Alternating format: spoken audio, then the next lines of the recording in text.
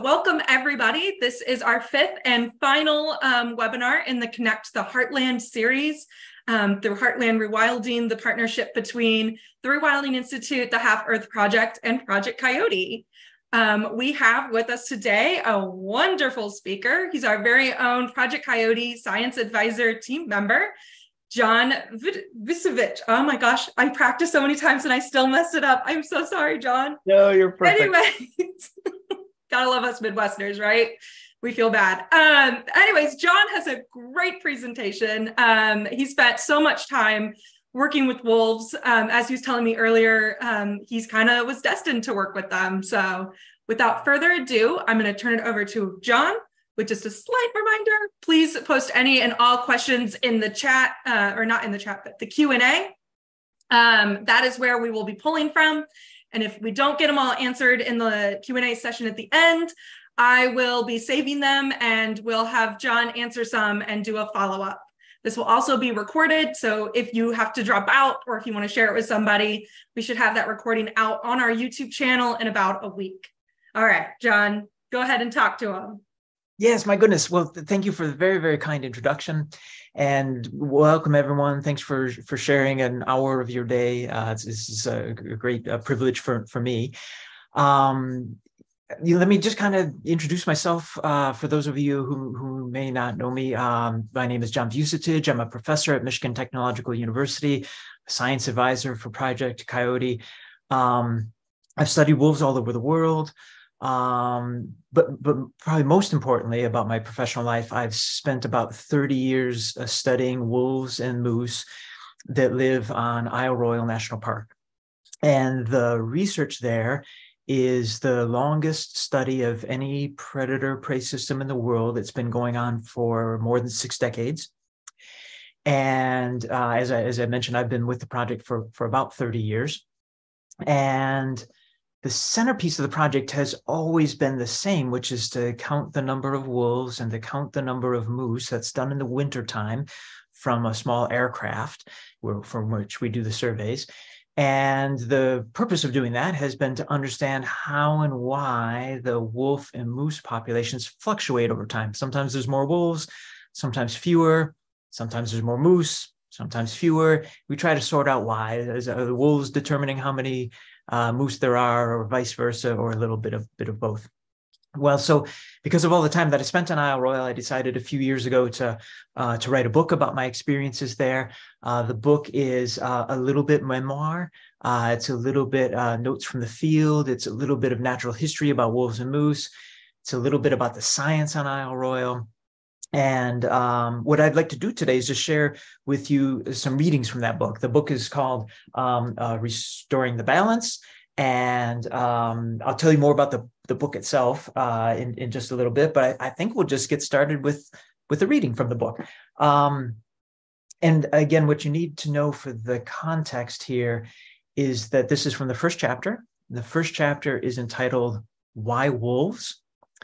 And uh, this particular reading is a set of notes that came from some observations that we made from the small aircraft that, I'm, uh, that I mentioned a little while ago. The small aircraft has a pilot that sits in front, and then one observer, that's me or my one of my colleagues, that sits right behind. And uh, the wings are over top of this airplane. So when you look out the window, you can see the ground beneath you on, on either side. And it's really quite uh, quite a privileged way to be able to see what's happening. So here it is, February 18th, 2012. Last night, the wolves of Chippewa Harbor pack crossed the Greenstone Ridge to hunt in remote corners of their territory. By morning, they were traveling back to the core of their territory. Shortly after we caught up with them, not far from Little Todd Harbor, we watched them change course abruptly and straight into the wind. We saw what they smelled a cow moose and her calf who had, who had themselves been foraging it didn't look good for the cow and calf right from the beginning. The cow was too far away from her mother, and they may have had different ideas about how to handle the situation. The wolves rushed in. The cow turned to face the wolves, expertly positioned between the wolves and her calf, but only for a second. The calf bolted. After a flash of confusion, the cow pivoted and did the same. Had she not, the wolves would have rushed past the cow and bloodied the snow with her calf. The break in coordination between the cow and the calf put four or five wind thrown trees between the cow and her tender love. The cow hurled herself over partially fallen trunks. She caught up with her frantic calf before the wolves did. Then the chase was on, led by the least experienced of them all, the calf. The cow, while capable of running faster, stayed immediately behind the calf, no matter what direction the terror ridden mind of that calf decided to take. Every third or fourth step, the cow snapped one of her rear hooves back towards the teeth of death. One solid knock to the head would rattle the life from any hound from hell. After a couple of minutes and perhaps a third of a mile, the pace slowed. By the third minute, everybody was walking the cow, the calf, and the wolves. The stakes were high for all, but not greater than the exhaustion that they shared. Eventually, they all stopped. Not a hair's width separated the cow and the calf, and the wolves were just 20 feet away. The cow faced the wolves. A few minutes later, the wolves walked away. By nightfall, Chippewa Harbor Pack had pushed on another six miles or so, passing who knows how many more moose. Their stomachs remained empty. And then a little bit further on in the same chapter, towards the end of the chapter, it says In a typical year, most moose on Isle Royale are tested by wolves about once a month. No moose fails more than once, and most moose eventually fail the test. They die from circulatory shock, hypovolemia, insufficient blood pressure in the brain, or injury to some other vital organ, all preceded by an ocean of exhaustion, a lifetime of anxiety compressed into a moment held by a fast and shallow heartbeat, a light and vertiginous feeling in the head brought on by low blood pressure, and a disassociating numbness that is a true gift offered by a cocktail of endogenous biochemicals and suggestive that evolution may be more compassionate, if only by accident, than her reputation teeth, swinging hooves, bloody snow, spinning sky, faintness, a once proud and still massive shoulder hitting the ground hard, the tearing of flesh, fading, and then nothing. Now, now the due reasoning and rationalization begins. We try to squirm away from easier thoughts. He was about to die anyway. He might have lived a bit longer, but his quality of life would have been so poor. We might even tell the story by replacing the pronoun he and his with it and its. We reason that the only other option is death by starvation or infection that spreads from jaw necrosis, which happens to be another common cause of death for moose on Isle Royale. We think mercy killing, but there's no reasoning here and little rationale for picking one horrible end over the other. We pivot for other escape routes. Wolves keep the moose population healthy by killing the weakened moose. To some limited extent, sure. In any case, these are all excuses for absolution for failing to give tragedy its due attention. These excuses diminish the majesty of a moose's life and the depth of his or her suffering. Excuses obscure the horror of the death and the celebration of a dangerously brave life. They hide persistence to the point of absolute exhaustion, the extension of one life by the taking of another, and transformations of tissue and energy from one species to another, processes that have occurred each moment over the past billion years. Excuses conceal the flash ignited by the mundane smashing into the divine. Now, our Paleolithic ancestors, they were the first in the history of all life to imagine the circumstance of their providers that vital juxtaposition between living and dying demanded reconciliation. So we developed ceremonies and rituals. Religion was born along with our capacity to imagine the circumstance of our victims. We no longer care for those primitive observances. Warm, pumping, bloody muscle is reduced to meat that is stored in lockers, packaged into casings, and formed into patties. We eat, live, and kill without a thought. Why wolves? Because they remind us to think. And so that's a, a reading from the first chapter of the book. And the book is organized, as I've mentioned, uh, well, I'll say a little bit more specifically. There's a first chapter that's about wolves. Uh, the next chapter is is about moose, and I'll, I'll share a reading from from that chapter about moose. This chapter about moose is also a little bit autobiographical about myself and how it is that I came to to do the work on Isle Royale. You need to know a few bits to make the context uh, sensible. The first thing for you to know is that ticks, especially on Isle Royale National Park, um, are affected by some, or I'm sorry, moose that uh, are in Royale National Park are affected by a, a, species of tick. Tick is very unusual, at least unusual to our usual way of thinking about ticks. They're active only in the wintertime. Their life cycle goes roughly something like this. They're on the moose in the wintertime. They mate at the end of the winter. The ticks do. The females with their eggs drop off of the moose in the springtime they burrow into the soil, they lay their eggs, and the eggs stay there all summer long. In the fall time, the eggs hatch. The little nymph ticks crawl to the tops of grasses in about October, and they wait on those grasses until a moose comes by. And when a moose comes by, they latch on, and then that's how they uh, continue their life cycle. And then the, the next winter goes on. The other thing that's important about these ticks is that one moose can have uh, well over 100,000 ticks. And so it can really impact a moose's well being in a pretty serious way. It uh, may only in rare circumstances straight up cause the death of a moose, but it sure can contribute to the death of a moose because the greatest impact of these ticks is at the late winter and early spring when moose are already having kind of a tough time because there's not so much food because the greenness of summer hasn't happened.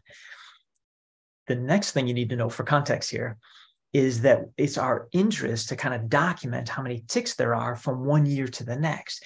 And we do this, I think, kind of cleverly with photography because the the ticks can lead to hair loss of the moose. And so if you can get a nice photograph that's like a profile of the moose, you can see the how big an area of the moose's hide basically has lost its hair.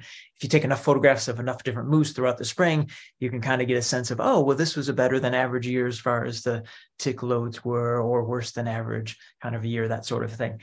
And so, in what I'm about to read to you, I was uh, camping near a swamp.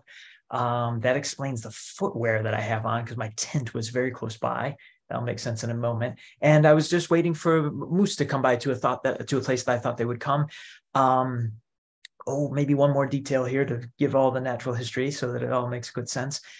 The reason that we know the moose come to this spot, and that's a good place to take photographs, is because there's a mineral spring here where water kind of percolates right through the soil. That mineral water is high in, in sodium and other minerals.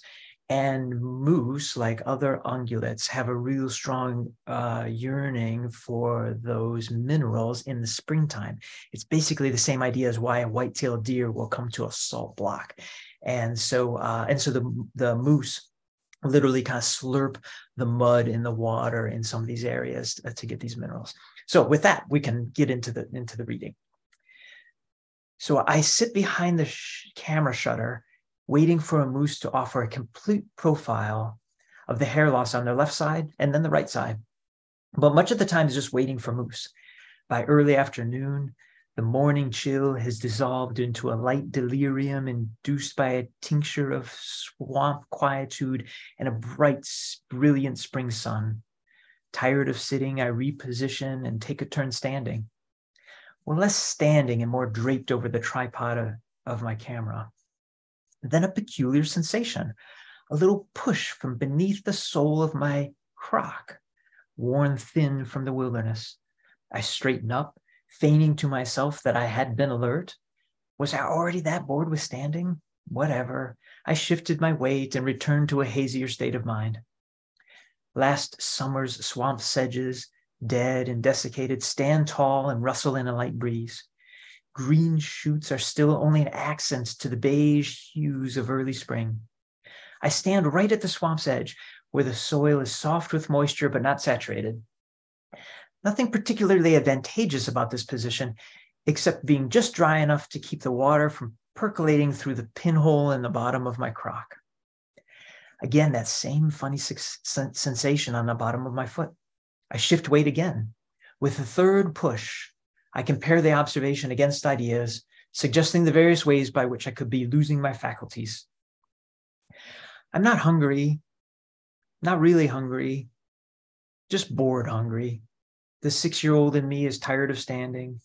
The grown up in me isn't going to reposition so soon after my last repositioning. Then comes another push. Exasperated, I abandon my post in a huff, taking one step aside, get down on my knees, push the grass aside, and meet the pointed nose of a baseball sized toad. She had been pushing her head up against my thin soled shoe with all the force she could muster with a toad push up. Eye contact was unavoidable. I do not know the limits of toad cognition, and I fully expect that I'm projecting the thought, but she seems to have been disgusted in wondering whether I'm more ignorant than insensitive or the other way around. Now, a year before, at the same swamp, in the same disordered state of mind, a thought occurred to me. I hadn't been looking for thoughts. Nevertheless, the autonomous narrator in my head proffered one. I was sitting in the wilderness counting what was left of the day's allotments of M&Ms, and then how many other moose does a moose know? Then the words, is it boring to chew cud for 8 hours of every day? I wondered, what is it like to be a moose? These questions were not warned with sentimentality. No, they struck me cold and horrifying. Because let's say that you selected 100 people at random from all parts of the world and all walks of life. No, make that 100 million people, line them up in order from the most to least knowledgeable about moose. I would be pretty close to the front of that line, but I had no idea how to answer those questions. Soon afterward, I realized that moose are not merely alive, but that each moose has a life. The moose has memories of yesterday, hopes for tomorrow, joys and fears, and a story to be told. If a moose has a life, so I reasoned with the awesome powers of deduction that I acquired from all those years in school, then I bet a wolf has a life too. This gift of awareness was first presented to me by an autonomous, by an anonymous mud-sucking moose. And I regifted it back to you in chapter one when we imagined the dreams of a wolf which is a part of chapter one I didn't read to you. If wolves and moose have lives, then the chickadee and the squirrel that live in town just outside our houses, they have lives too. Being less familiar with the details of their lives in no way diminishes the fact. And those miserable ticks, they have lives too. Our minds are so obstinately anchored to our own experiences and perspectives so much more than we appreciate. It feels awkward to say, but I owe those ticks gratitude. They led me to this mud hole on a warm spring day where, in a mild state of delirium, I wondered for the first time are the thoughts of a moose beyond my imagination? And so that's the second um, reading that I'll share with you from the second chapter, which is mostly about moose and a little bit about my autobiography. And the book proceeds to uh, tell the history of the science that occurs on Isle Royale. And one of the things that's uh, useful to know about that actually goes all the way back to, um, well, it actually goes back to probably prehistory. There's this idea known as balance of nature. My colleague who uh, led the project before I did, he wrote a book about his experiences on the island and he called it A Broken Balance. And you may have remembered the title of the book that I'm speaking about now is called Restoring the Balance. I'll tell you why it's called that in just a little bit. Um, but but so much of our understanding about nature and about Isle Royale is kind of filtered through this lens of an idea that's known as balance of nature. Balance of nature uh, has a place in our mythologies. Balance of nature figures into kind of ancient Greek writings. Um, it was a key metaphysical idea for Darwin when he was developing his ideas about evolution. But then something different started to happen in the 20th century with this idea of balance of nature. In the 20th century, what we might now consider like modern science or contemporary science, uh, that started to kind of investigate what balance of nature might mean.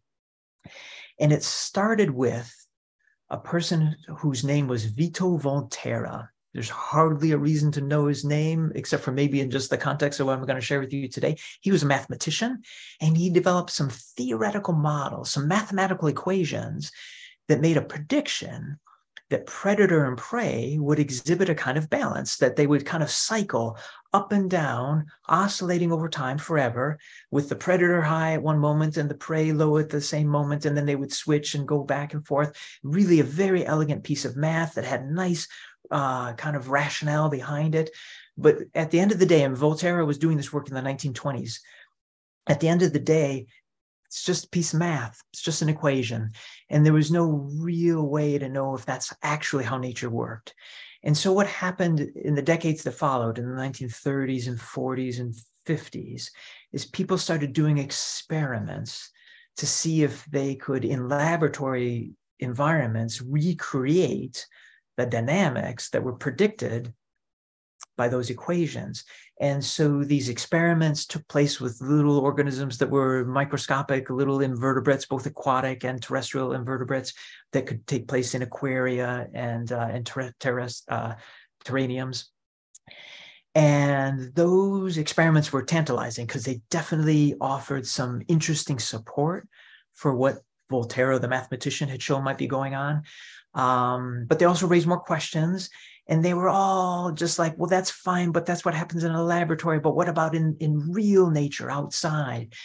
And what's really important to understand is just as those experiments were really um, coming onto the scene that's when durward allen who started the wolf moose project on isle royale in 1959 that's when he started his work and his motivation was exactly what we're speaking about now is to kind of understand well, if you ha- had a predator and a prey, and if they were stuck on an island, w- what would happen to them? Uh, would they persist? Uh, if so, how? That was his motivation. And it really was motivation that was kind of strung to that history. And so one of the chapters in the book is uh, kind of covers the experiments that were done just prior to the wolf moose study. And they, they set the stage very nicely for, uh, for later chapters in the book. So I'm going to give you a, reading from that. Um, so Volterra, he's the mathematician, shared his ideas with the world in a 1926 paper that concluded it is to be hoped that this theory may receive further verification and may be of some use to biologists. Volterra's hope was quickly pursued by the Russian ecologist Gregory Gause. Now, Gause devised a clever way to evaluate the scene that Volterra had painted and whether it bore any resemblance to the real world.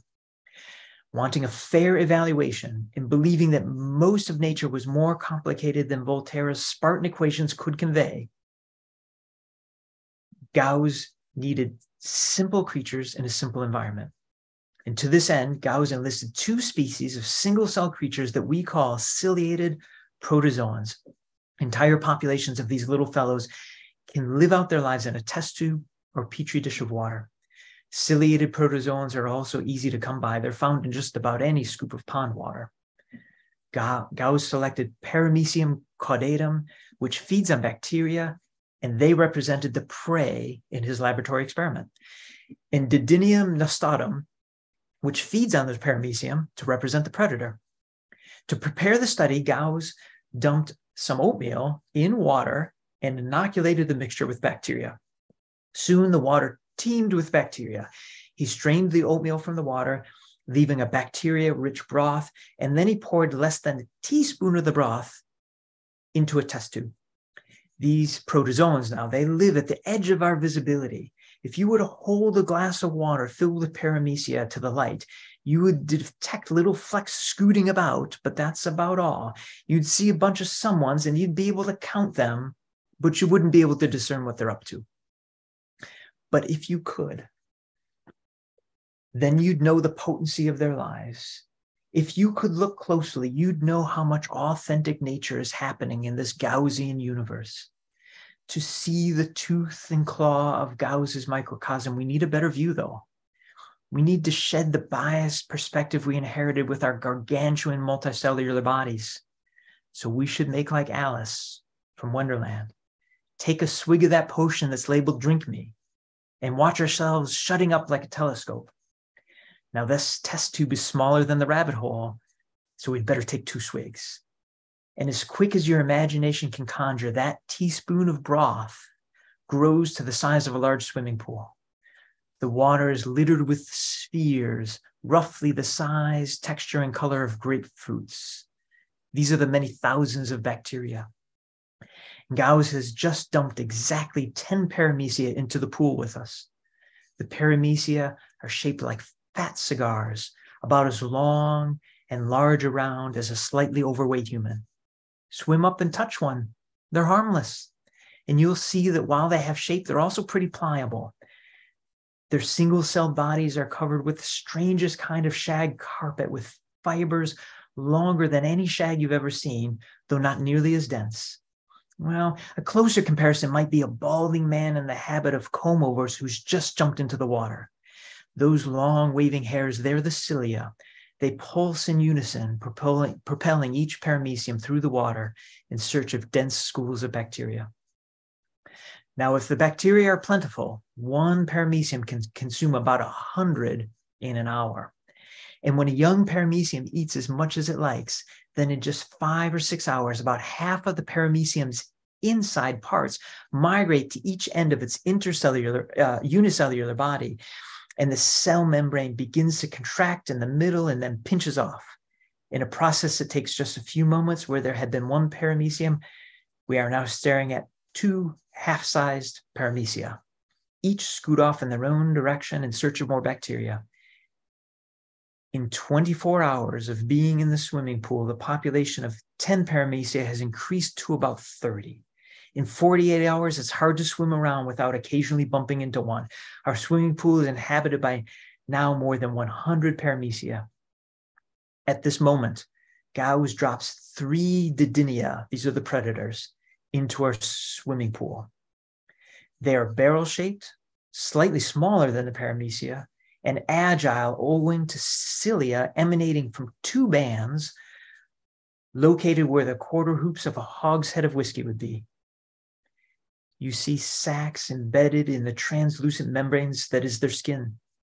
Each of these cysts is packed with needle like filaments. When a didinium detects a paramecium nearby, and I have no idea how they do it. These creatures have no eyes, no ears, no nerve cells of any kind because their entire body is just one cell. In any case, they eject those filaments, penetrating into the paramecium's skin. Oh, wait, I forgot to mention the toxins. The filaments are coated with toxins to immobilize the paramecia and begin digesting its insides before the didinium has even swallowed it. The didinium retracts the filaments with the paramecium still attached, and the paramecium may be folded in half as it's pulled into the didinium's mouth. Well, we should say mouth. The didinium had been smaller than the paramecium until it was stretched on from all sides from the inside by the freshly consumed prey. Oh, watch out right behind you. There's a didinium. I wouldn't get too close to them. Now, paramecia are not helpless in all of this. They have similar sacs embedded in their skin. If triggered at the opportune moment, they foil the didinium's toxic filaments, sidelining the didinium from the hunt for 20 or 30 minutes as it regenerates its spent toxicysts. An especially skilled didinium captures and consumes about five paramecia a day, depending on how easily the next paramecium is found. When didinia have had enough to eat, they undergo, like their prey, the torturous looking process of binary fission. While this Gaussian universe is a laboratory experiment in a glass tube, don't overlook the raw peril and don't fail to appreciate the complexity. What happens next after the paramecia increased and after the didinium increased Nobody can know what's going to happen and how it will turn out unless you keep watching. Within 24 hours of being dropped into the tank, those three didinia had consumed scores of paramecia, increased their own kind to about 25. The abundance of paramecia plummeted from more than 100 to about 35. A day later, the number of didinia held steady, and the paramecium population struggled against extinction. A day later, the paramecia were extinct. The Didinia, now with nothing to eat, went extinct the following day. All that remained were bacteria feeding on Didinia carcasses. In addition to the miniaturized space of this tank, time passes differently here. You and I are accustomed to measuring time in hours and days, but life meters time with each passing generation, whose duration varies among the species. For humans, a generation is about 25 years. For moose, it's about nine years. For wolves, it's about four years. Gause's evaluation lasted only six days. That may seem a flash, but those six days saw the passage of more than 20 paramecium generations. By comparison, six generations of wolf moose dynamics on Isle Royale is just 15 wolf generations. That's right, don't forget Isle Royale. The history of the balance of nature is worthy of attention for its own sake. But our particular interest is a rich understanding of Durward Allen's declaration that the wolves and moose of Isle Royale had struck a reasonably good balance. And a reasonably good balance is how Durward Allen described the dynamics between wolves and moose on Isle Royale in, um, in the 1960s. And he probably came to that conclusion because he didn't look for so long, because he was right at the beginning of the project. And his predecessor uh, in, in my, uh, I'm sorry, his successor and my predecessor, Rolf Peterson, he continued watching throughout the 70s, 80s, 90s, and to the present day, in fact. And um, and what we all could see is that the wolf and moose populations actually oscillated a great deal. Um, and one of the things that became of concern for myself and my colleague Rolf Peterson is that um, the population of wolves seemed to be quite at risk of extinction. This concern first came to us in the first decade of the 21st century. By about 2008 or 9, we were quite concerned about it. The concern had to do with the fact that the island is small. There's never very many wolves on the island. And so they're vulnerable to inbreeding. What we only started beginning to understand in the 21st century, and again about the year 2007, 2008, 2009, is that the reason that inbreeding hadn't taken hold in the wolf population in prior decades is because occasionally a wolf would come from Canada cross an ice bridge, they would mate and reproduce with the wolf population on Isle Royale. In doing so, they would infuse the population with new genes and in that way stave off inbreeding depression. Th- that went on for many decades without really anyone fully appreciating it. We only started to appreciate it by basically kind of doing some what you might call forensics DNA work. And we found basically traces of Canadian wolves in the Isle wolf population that could only have gotten there by these migrants coming occasionally and then what happened is that in the, especially in the 21st century is that ice bridges became less common. And when ice bridges became less common because of climate warming it made for immigration events from canada to the islands basically become non-existent. And then inbreeding depressions really t- took hold and uh, pushed the population of wolves on Isle Royale right to the brink of extinction in about the year, I think it was 2017, 2018, there were just two wolves left. And those two wolves uh, were, were, guaranteed to die without reproducing. Again, they would have gone extinct. And it led to quite a challenge for the National Park Service, who manages Isle Royale. And their challenge was what to do. Should they restore the wolf population? Should they, um, or, or just let it go? And, and one of the reasons that it was challenging for them is that the national park is a you know 100 year old institution and it has a philosophy of management. And its philosophy of management, well, is born from the early 20th century. And the idea was that a very important part of managing a national park is for humans to leave their hands off of it, to not intervene. And so some people interpreted non intervention, that philosophy on Isle Royale for the case of wolves would mean that if they go extinct, that's just the way it goes, and, and so be it. Um, other people said, that's fine if we lived in the early 20th century when there are lots of what you might call wilderness areas or places that seem to be wilderness areas. But in the 21st century, in a world of climate change, if humans don't intervene to protect things, we're just going to ruin things even further and lose even more. And so the National Park Service, even still to this day, hasn't really fully come to grips with its relationship to climate change. And so that's why the, the, there's great challenge for Isle Royale National Park to figure out what to do. Eventually, they made the decision to bring wolves back. That was done in the year 2018, 2019 is was when wolves started to be reintroduced to the island. Uh, the reintroduction was very successful. Um, the population on Isle Royale right now is about 30 wolves and uh, there are about a thousand moose. The moose are on the decline, which is a, good thing because the moose have really done quite a bit of damage to the forest by now.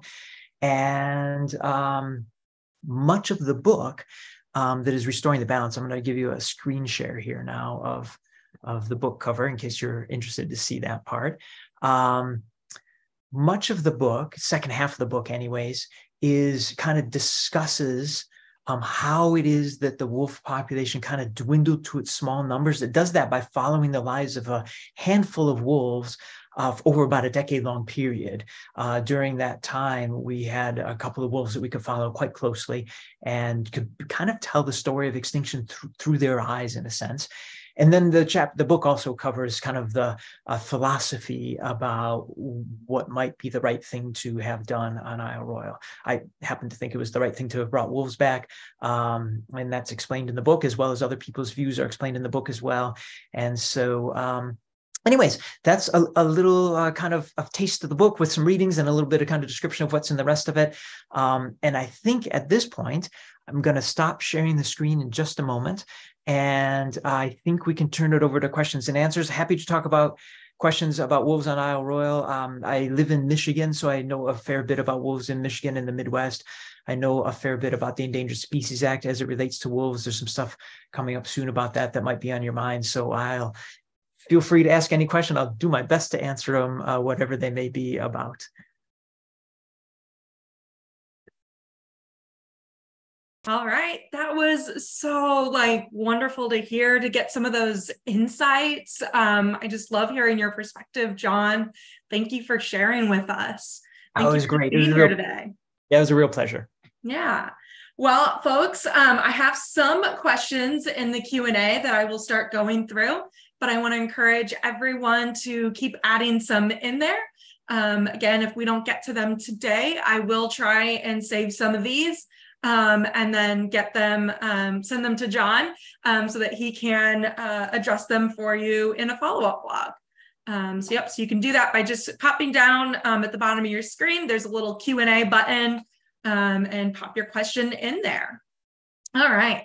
Uh, speaking of the Endangered Species Act and some of the stuff that's going on, um, Lisa asked, what can we do to get um, them, meaning wolves, um, listed again and stop the hideous Great Lakes Wolf Recovery Act and the Trust the Science Act. Right. Well, um, you know, this is a, question a little bit about kind of advocacy and mobilization. And there's an important way in which Kelly and some of her colleagues are probably better judges of like exactly what actions to take. I can tell you a couple of things that are maybe just uh, well suited for me to say, anyways. Um, in in Michigan, um, there is uh, just emerging uh, uh, kind of a grassroots political uh, action to uh, protect wolves in Michigan. Um, I think if you just stay tuned into your regular kind of internews or internet kind of channels and so forth, you'll you'll see that. Look for um, look for leads from the Humane Society of the United States. They're doing quite a bit of work in Michigan. I think they're going to be effective. Um, and then also the Anishinaabe uh, community in Michigan. That's the Native American group that lives in Michigan. Um, they also are quite active. If you just keep your antenna kind of tuned in for that, I would say over the next month, you'll start to see some action and uh, see opportunities to jump in. Um, the other thing that I think I uh, make a kind of a broad comment about, about the Endangered Species Act, I'm sure that well, many of you may or may not know, wolves can be managed at one of two levels at the federal level or at the state level. And while wolves are protected by the Endangered Species Act, they can't be hunted in any state where they're protected by the Endangered Species Act.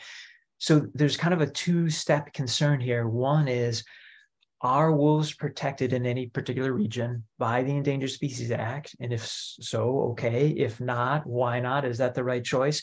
If they're not protected or if they're not going to be protected, then of course one's attention goes to the state level because then the states are going to typically ask the question should we hunt? They have a tendency to say yes. And so they end up being kind of different political battles. They end up being they have a different flavor for like what the issues are. And i want to say something about the endangered species act the federal level. One of the things that's going to happen is that in february of 2024 coming february coming up here fish and wildlife service is expected to make a new decision about wolves it's a court ordered decision i have a feeling they'll be late in making the decision because they usually are but nevertheless that's planned as february and that's something to keep your eyes on but but please do know this: the issue in February is not going to be about whether wolves are hunted or not. That's not like legally the concern, and I would even say philosophically the concern for the Fish and Wildlife Service or the Endangered Species Act. The concern is, and the reason I'm pointing this out is because it's easily kind of underappreciated. The Endangered Species Act has to ask this question what is an endangered species? If you can answer the question, what is an endangered species? It's relatively easy to figure out whether wolves or any other species fit that definition. The real trouble with the endangered species right now, it's like it's virtually a crisis, I would say, is that no one knows what it means to be an endangered species. is kind of an abstract sort of an idea. Like we know that we know that panda bears are endangered, tigers are endangered, robins are not, squirrels are not. So we know what's endangered and what isn't. But there's a large number of species that are maybe like right on the cusp. Wolves are definitely one of them, but there are many others where it's like, hmm, are they endangered or not? And so one of the challenges that we have as an American people is to be able to answer the question, what is an endangered species? If we can answer that question, we'll know whether wolves should be endangered or not. And uh, again, the, the, the lawsuits that have taken place over the past 20 years pertaining to this issue really um, just shine a bright light on the fact we don't know the answer to that question. It's kind of a shame. So anyway, so there's a little bit about Endangered Species Act and a little bit of wolf politics. Yeah, no, I agree. That's definitely a murky piece of the law that leads to a lot of problems and can allow some of this, you know, back and forth. And as you were saying, which is the Endangered Species Act isn't asking should these animals be hunted or not. It's asking if they should be endangered or not. We yeah. as a society should also be thinking big picture of are we why are we hunting carnivores in the first place right yeah. i mean i think a lot of your readings speak to that of you know these are these are individuals with lives with with you know just their own sense of being and worthiness and why are we out there trophy hunting these magnificent animals that you know beyond just their ability to to live and breathe which they deserve that ability and that that right um, contribute so much to our own health and well-being. So i agree. That's a great question we need to be thinking about. We're getting lots of questions coming in so i'm going to try and answer some or ask some the best i can guys. Yeah. um, we got 15 minutes here left. Um, so this one goes back to that first reading where you were describing um, the moose and wolf hunt. We had a couple questions. Um, Kelly asked, "Do you know how many wolves were involved in that hunt?" Oh, I'm going by memory here because that was a long time ago for me. But there would have been like um, six or eight wolves. Uh, we're in Chippewa Harbor Pack at that time. And the thing to appreciate about how it is that wolves hunt moose is that I'm sure you all know that they live in family groups that we call as packs. Um, but not all the wolves in a pack are equal. Many wolves in a pack are uh, just offspring from that very year. And by the, the and the, the scene I was describing took place in the wintertime. And so in the wintertime, wolves, wolf pups are, you know, like nine months old, eight months old, something like that. And if just a casual look, an eight or nine month old wolf looks like a full grown wolf. They're a little bit smaller, but but they're you know they kind of look like a full size wolf, and so they they look like an adult. Um, but they, but they have so little experience these young wolves. And and they're basically not good at hunting. And they sometimes even like get in the way so to speak because they're super excited about all what's going on. Their parents are all in a in a tizzy about it and everybody's breathing hard and, and running and, and sort of thing. Very excitable moments of course. Um, and these young wolves kind of sometimes get in the way. The point that i'm making is that even though there may be six eight wolves in a pack often it's the case that one or two wolves is is really especially when it comes to a big prey like moose one or two wolves is actually doing most of the work. And it's such a remarkable thing. A wolf may weigh 80, maybe 100 pounds. Isle Royale moose weigh, you know, 800 pounds, 900 pounds. So think for a moment about the idea of killing something that weighs 10 times as much as you do, and you're going to do it with your teeth. I mean, it's just mind boggling, really. And to think that that's how you make your living. And if you can't do that, you you you starve to death. So uh, anyway, so that was a little little extra answer to the simple question about how many wolves were there. yeah, no. Uh, Rachel has um, another question about that hunt. Um, she says, um, "Am I to understand that the calf needs to learn that the mama will fight on the baby's behalf?" Speaking to the moose, um, rather than exo- than to exhaust itself running from the pack. I'm surprised the pack gave up once the running stopped. Yeah, sure. Uh, great questions. And so, you know, moose are like humans. We're not all good at what we're supposed to be good at. some of us are better at what we do, and some of us not as good as what we do or supposed to do. And, and so calves and their mothers are really quite varied about how good they are, the calves at how good they are of what they're supposed to do, which is just stay close to their mother, but they're still got a terror-ridden mind at that moment. And then and then the cows, the mothers, they're also quite varied in their skill of being able to stay between the wolf pack and the and the calves. And and the thing to appreciate is that um, for about half of the year, calves are the primary food source for wolves. But enough calves are also born that the population keeps persisting. So it's a so the survival of a calf is really quite varied, and it's tied to this variability in their ability to to, to do things. Um, there was a second little part of the question I think, but I forgot just right at the very end. Um, Rachel asked or said, "I'm surprised the pack gave up once oh, the running up, yeah. stopped." Yeah. So here's the the giving up part: is that um, by the time that uh, Moose decides to stop running and then turn and face the wolves, it, it's a- actually pretty tough gig for the wolves. Um, and and so their chances of getting injured at that point are really pr- relatively high, and their chance of just overall failing uh, to kill the moose are, are fairly high at that point. And the wolves have enough experience knowing that that they just give up. And again, these are these injuries, they're not just little cuts and bruises and stuff like this. These are cracked ribs, these are cracked craniums that can uh, that can kill a wolf. And so they're they're quite sensitive about kind of picking their options. I I used to know the numbers right off the top of my head, but it, it's something like for every 10 attempts that a wolf pack makes, they only are successful once. So they, they're they're used to failing, but they just make it happen by just trying a lot. Yeah, and that's that's true for I know for a lot of our um, our carnivores and predators that yeah they're just when we talk to people about coyotes it's it's a similar thing of you know people have this vision that coyotes will be going after big cattle and, and, and they might if they've got a pack but oftentimes you know in a healthy population they'll go after the smaller animals. It's a lot less risk. Yeah yeah. All right. Um, Andrew asked, um, can the balance of nature better be described as a dynamic, shifting equilibrium? Yeah, sure. And I think it's important to understand that balance of nature. And that, to my knowledge, that phrasing has been used just like that balance of nature back to Greek antiquity. And and it gets translated into into english that way from what otherwise would have just been oral tradition. So i think it's important to understand that phrase balance of nature. It's extremely old. So the cherokee who have mythologies uh, about uh, a prehistoric cherokee now i'm talking about have mythologies about balance of nature they didn't have that language dynamic equilibrium right? It wasn't in their vocabulary. So i think that um, balance of nature is such a beautifully flexible term that uh, it can take on different meanings over literally the centuries. I think that's why it's an idea that endures and an idea that that that sticks with us uh, is is because it changes. So the short answer is yes. I think that's a very useful way to think of balance of nature. I think I think it's just one of several useful ways, though. Yeah, humans and our need to quantify and qualify and put things in boxes. Yes, yes. Makes us so good and makes us so bad. Yeah, that's right. Absolutely.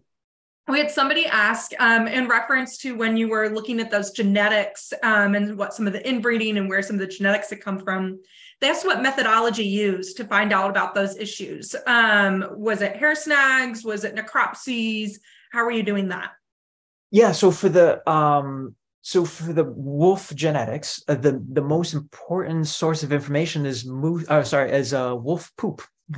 And so what we would do and still do is um, in the wintertime when we're doing our surveys counting the wolves and the moose we're also looking for places where wolves have killed moose. And when wolves kill a moose because the moose are so big it takes the wolves a while to feed on them three or four five days. And when they're eating all of that remember that's 900 pounds of food they poop it all out. And so there's poop all over the place. And so what we do is after the wolves have left uh, a kill site we land the plane in the nearest frozen lake that we can find strap on our snowshoes, hike in, perform a necropsy on the moose to better understand its circumstances. And then it's like, I don't know, Santa Claus or something like that, have a big old garbage bag and a box full of Ziploc bags. And we go around and collect the poop and throw it in what again, it looks like a bag of Christmas presents, I suppose, when we're all done, it's slung over our shoulders.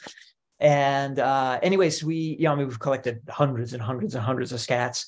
And from those scats, you can get DNA. And from a DNA, you can get what's basically like a DNA fingerprint. So you can tell one wolf from another. And not only can tell one wolf from another individually, but you can also tell who's the parent of whom. And then you can start to figure out, oh gosh, here's a wolf that doesn't have any parents, must have come from Canada, stuff like that. That's interesting. Um, da, da, da. Um, so how did you guys reintroduce wolves to Isle Royale? And one second, I think there's another question um, about that as well. Um, but go ahead and, and then I'll ask this follow-up question. How, how did you go about reintroducing the wolves? Right. So the wolf reintroduction was uh, designed and managed, implemented by the National Park Service. And they uh, live captured wolves from Michigan, Minnesota, and Ontario and uh, and then after live capturing there, uh, transported them to Isle Royale, um, and then um, in cages, and um, and then and then released them. Um, you know, wolf well introductions of any kind um, are very much in. I mean, there were equal parts art and science, and so you know the decisions for how to do it were informed by uh, good science and also kind of tailored to specific circumstances on Isle Royale that for which the science doesn't have a lot to say about, but you just got to figure out how we're going to do this. And uh, so it really needs to be said with some thankfulness that it turned out very well, because that doesn't always turn out well. Some introductions uh, are a failure, and you have to like try a second time. Sometimes have to try a third time. So this one was very, very fortunate that it happened well on the first occasion. Yeah. And so following up with that, um, Jane asked um, if what and if there were any specific issues in this particular relocation um, where did the wolves come from? And then is 30 believed to be the carrying capacity um, for the wolves on isle royale? Right. So um, yeah, I mean, I mean, there wasn't really anything noteworthy to talk about here about, you know, challenges to it all. I mean, there were logistical challenges, just like for any any operation, and they weren't mine, so they're not for me to speak about probably. Um, and then so um, 30, is th- th- about 30, 31 wolves. That's how many are there right now. Is that the carrying capacity? Is that the right number? You know, um, 30 is about as many as you would expect to see on Isle Royale in in the past decades we have occasionally seen more than 30 but never for very long and never by very many. And we made reference a few minutes ago about dynamic equilibrium. That's probably a better way to think about the like the right number of wolves on isle royale and so the the right number of wolves on isle royale is, is undoubtedly going to fluctuate. I would say it would tend to fluctuate between about I don't know, 18 and, and 30 wolves, something like that.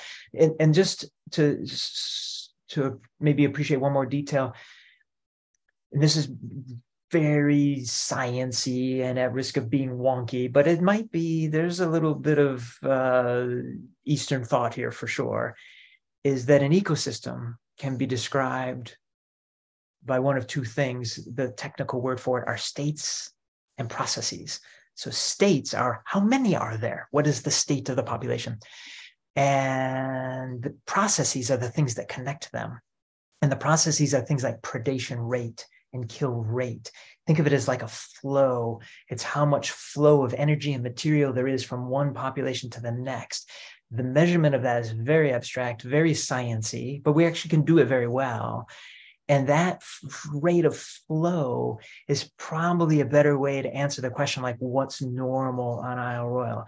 And there, something like, to be exceedingly precise and quantitative, if the predation rate on Isle Royale is somewhere between about 7 and 12%, that's probably a more reliable indicator of things are happening kind of as we come to understand and expect. And so, anyway, states and processes, processes are like a flow of energy and material from one state to the next. Actually, a very Eastern idea, but actually, Western science is all over it. Yeah. Like that. Yeah, that's definitely a different way than similar, but different way than we're kind of yeah. taught in some of that wildlife yeah. biology population dynamics that I know some of us have taken or read about. Yeah, and I love numbers, but sometimes there's an obsession over how many are there. oh yeah, trust me. My is one of my masters is in environmental economics, which is all about the numbers and how to influence the numbdon't So I hear you there. um, we'll go with one last question, and this one's kind of more, um, uh, I don't know, ethical or thinking about thoughts and emotional processes. Um, but we had someone write in and say it is sad that we try to wipe out species such as the wolves and coyotes. Then we try to intervene and bring them back. Then they just get hunted or removed because of people. What do we see as being the point in this process? Um, how can we um, break this process and kind of end some of this suffering? Yeah. Um, I mean, if I had the answer, um, I don't know. I would. I might not be sitting in, in this this humble office. Um, I, I, can probably only add to the question, which is to say that um, there are a variety of like Western ways of of looking at the relationship between humans and nature. And some, not all, some of these Western ways are very much about um, controlling and dominating and exploiting nature. One of the, and we need to find alternatives. And I think, you know, Project Coyote represents an important alternative for kind of a, a philosophy for how to relate to nature. One that I appreciate um, is what the Anishinaabe people uh, think about their relationship with wolves in particular. Um, the Anishinaabe people are people who lived in the upper Midwest for a, a while before Europeans came. And their mythology story, their, their I'm sorry, their creation story involves uh, wolves. And in that creation story, without telling it all now because time is short, they believe that, that they are a brother and sister with the wolf, that, that the Anishinaabe people and wolves are brother and sister. And they don't believe that like symbolically, they believe that literally. And for those of you who may be Catholic or know a little bit about Catholicism, they believe it in the same way that a Catholic believes that the Eucharist is actually the body of Christ. Catholics don't believe that symbolically, they believe that literally. And the Anishinaabe believe that in the same way that they're, that they're siblings with wolves. That is an idea that is very consistent with Western thought because all you need to do is know a little bit of Darwin and kind of understand that, well, siblings, actually a pretty flexible term, just means that you have relations. And we certainly have relations that go back, we go, go back a little further. And so, but here's the, here's the point about this relationship is that what's the right way to relate to a sibling? If you have a sibling, you know the answer to that is complicated. Yes. But it's not a relationship of exploitation. It's not a relationship of domination. Uh, and I think it's not well described by really like any other relationship. Sibling relationships can't be compared to anything else. They're so varied and unique and dynamic and changing from case to case. In any case, I think the beginning of the answer is to think of our relationship with nature, the denizens of nature. There are siblings. And so, how do you relate to your sibling? And um, I think I'll just leave it at that. No, I love that. That is that is great. You know, as I have two siblings, And there's been times where my younger brother and I, we our parents never thought we'd get along, right? Um, there was lots of back and forth. There was love there, but it was push and pull.